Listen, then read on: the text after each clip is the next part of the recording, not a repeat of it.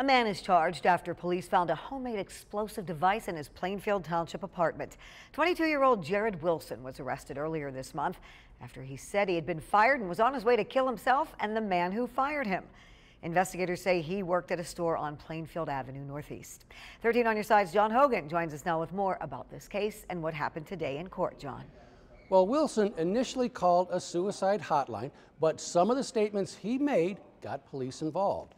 A search of his apartment turned up a homemade bomb. Contents included BBs, safety pins, and shotgun shells. There was also gunpowder prepped with a fuse.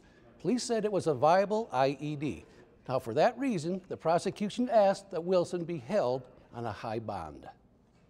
This case involves not just a typical pipe bomb created by the defendant, but a pipe bomb that included things that we would reference as shrapnel the, the things that he put inside of that show forethought, show the unlawful intent. I think the defendant's actions, while I agree with Mr. Dotson, are simply allegations at this point, do warrant a high bond, a $100,000 cash bond, in order to protect society at large. Right now, I'm not changing the bond. I'm going to leave everything the way it is. Now, Wilson, who has no priors, will be back in court next week to hear evidence against him. If convicted, he's facing up to 15 years in prison. John